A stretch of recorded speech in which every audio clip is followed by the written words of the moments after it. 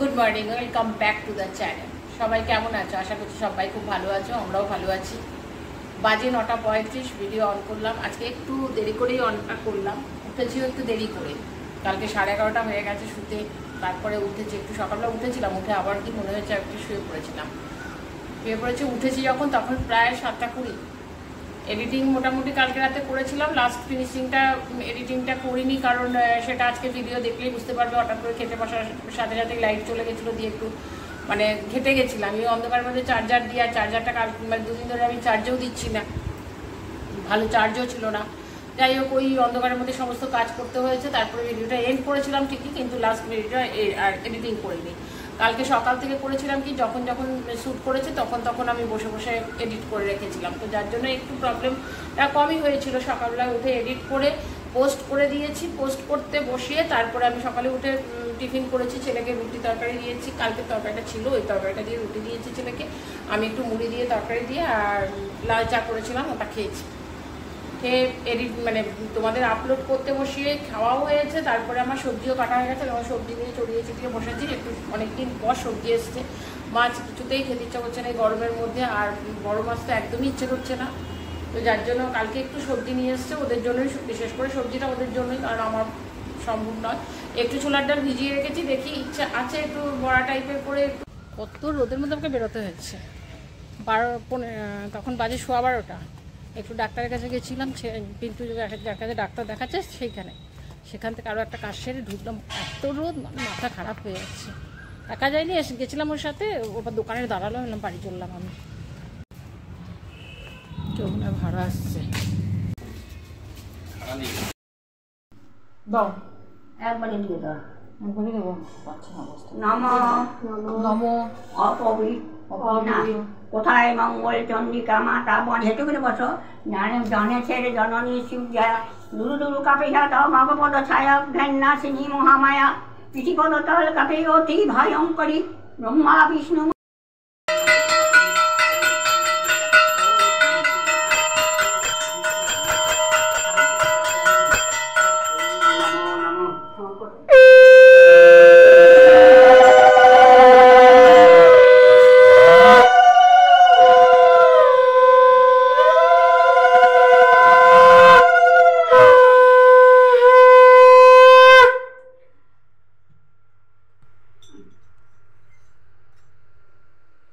সেই তাড়াহুড়ো করে একটা ভাত বসালাম ছেলের জন্য। ছেলেকে গরম ভাত দেবো ফ্রিজে ভাত ছিল ওটা বার করে দিয়েছি। দিয়ে তাড়াতাড়ি করে স্নান করলাম। স্নান করতে এত গরম জল একটা ড্রামের মধ্যে রাখা ছিল, জল ওঠানো ছিল। ওই জলটা দিয়ে অল্প একটু চান করলাম। তাও মাথায় আমি ভালো করে জল দিইনি, অল্প একটুখানি দিয়েছি। দিয়ে পুজো দিলাম। পুজো দিয়ে মুখে একটুখানি জাস্ট ক্রিম মেখেছি, এসছি। এত খিদে পেয়ে গেছে বললাম দুজন দুটো ঘরের মধ্যে ঢুকে বসে রয়েছে মোবাইল নিয়ে। ছেলেকে কতবার বললাম, যা চান কর, এখনও পর্যন্ত ওঠেনি। আর আমি বললাম, যে উঠুক উঠুক, না উঠুক, আমি আগে খাই, খেয়ে দিয়ে বসি। না হলে আমার ওষুধ খেতে হয়, আর ওইটা দুটোর মধ্যে না খেলে না, আমার বিকেলে বেরোনোটা প্রবলেম হয়ে যায় একটু। কেউ একটা ফোন করছে। আমি একটু কথা বলি তারা তোমাদের সাথে পরে কথা বলছি। আমি কী রান্না করেছি সেটা তোমায় একটু দেখিয়ে দিচ্ছি। রান্নাও করে নিয়েছি। এটা একটু ছোলার ডাল করেছি, নারকেল টারকেল দিয়ে। নারকেলটা কিন্তু পুড়িয়ে নারকেল দিয়েছি, কারণ আমার হাজব্যান্ড আবার নারকেল করলে খেতে চায় না। আর এটা একটা সবজি করেছি, বরবটি, আলু, বেগুন, বড়ি টড়ি দিয়ে। এটা অল্প এখানে রেখেছি, অল্প টিফিনের জন্য রেখে দিয়েছি, রাত্রে রুটি নেবে। এখানে একটু বড়ি ছিল, মুসুর ডালের বড়ি ছিল, ওটা ভেজেছি, বেগুন ভেজেছি। আর এখানে ছোলার ডালের বড়া করে তরকারি করেছি, আর কালকের মুসুরির ডাল ছিল, সেটাও বার করে রাখলাম।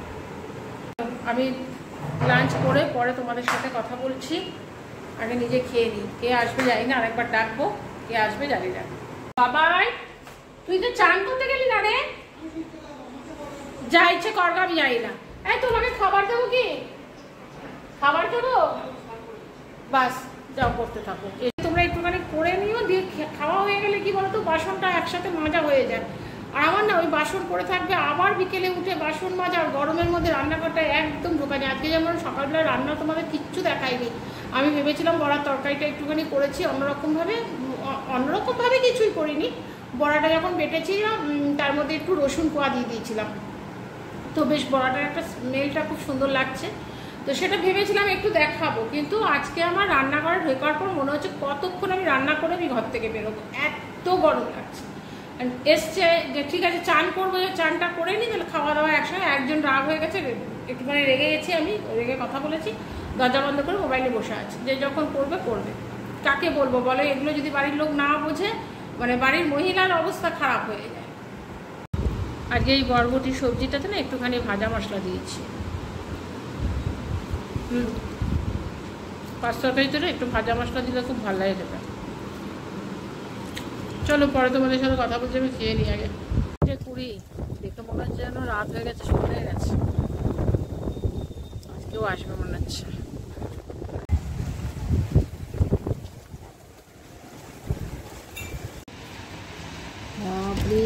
মারাত্মক রকম অন্ধকার হয়ে গেল।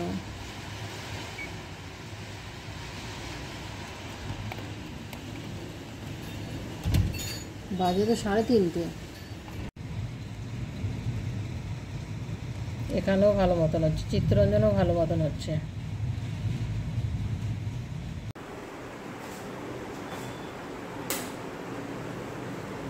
ছটা পাঁচ, আগে সেই যে ঝড় বৃষ্টি হয়েছে লাইট চলে গেছিল। এই দশ মিনিট হলো এসছে। পেছনের ওই দিকের বারান্দাটাতে পুরো জল ঢুকেছে। জল বেরিয়ে গেছে, কিন্তু ঝাড় দিতে হবে, পুরো নোংরা হয়ে আছে। একটু চা করি, চা খাই, তারপরে কাজ সারবো। রুটিও করতে হবে আজকে। ডিউটি আছে, নাইট শিফট। এটা যে সকাল থেকে লেগেছে আমার পেছনে। আমারও যাই মাথা গরম হয়ে, মাথা গরম হয়ে গেলে তখন দেই, আমিও আচ্ছা করে মারি না, মুখে যা পারি বলি। আর বৃষ্টি পড়ছে কখন থেকে শুরু করেছে? এই সময় তো বেরিয়ে যায় বন্ধুর বাড়িতে। বৃষ্টি পড়ছে কখন থেকে বৃষ্টি কমেছে বৃষ্টি কমেছে, এই শুরু করেছে। আমি এই দিকের ব্যালকনিতে বসেছিলাম এতক্ষণ। দিয়ে আমি মনে বৃষ্টি কমবে না, যেতে হবে না। বাস, না করেছি। এখন অল্প সেরকম বৃষ্টি পড়ছে। না, আমি চলে যাব সাইকেলে করে যাব। আর না করেছি, ওর বাবাও শুয়েছিল নাইট শিফট ডিউটি ওর বাবারও ঘুমিয়ে গেছে। দিয়ে এসে পরে এক খাঁচানি মেরেছে। দিয়ে ঘরে ঢুকে দিয়ে তার আগে বলেছিল, চা করো। আমি যাচ্ছি, একটু পরে লাইটটা আসো তো রেগে গিয়ে দরজা লাগিয়ে বসে গেছে। বলি যে সবার রাগ আছে, সবার সব কিছু আছে। মুখ ভার করে বসে থাকবে, খাবার বেড়ে খাওয়াবো সব কিছু আমার কিছু হলে কেউ তোরা দিবি না। যেমন ইয়ে সরকার লোক খুব রাগ হয়ে গেছে। যেমন গেলাম, সারা সংসারে কাজ করে, রান্না করে গেলাম। এসে পরে যে যার মোবাইল নিয়ে বসে গেল যে, ঠিক আছে, তাড়াতাড়ি করে নি, ওকেই তো করতে হবে। সেই সবের কোনো ব্যাপার নেই। ওই জন্য মাঝে মধ্যে মাথাটা যায় গরম হয়ে। আর সবই তো একা হাতে আমার তো কেউ মানে কোনো কেউ নেই যে, না, ঠিক আছে, আমার ঘরটা মুছে দিল বা কিছু করে দিল। সবটাই একা হাতে করতে হয়। আর ওই জন্য আমারও খুব রাগ হয়ে যায়, মাঝে মধ্যে আমিও তখন রেগে যাই যখন, তখন ওর বাবাকে কিছু বলতে পারি না, রাগটা দেখাই ছেলের ওপরে। তাও বললাম যে, দাঁড়া, একটু বৃষ্টিটা কমুক তোর আমিও যাচ্ছি, চল কনিষ্ক থেকে ঘুরে আসি। না, আমি যাব সেই ওদের বাড়িতে। আর ওদের বাড়িটা অনেকটা দূর, আর বৃষ্টি বাদলের দিন ইচ্ছে করে না ছাড়তে।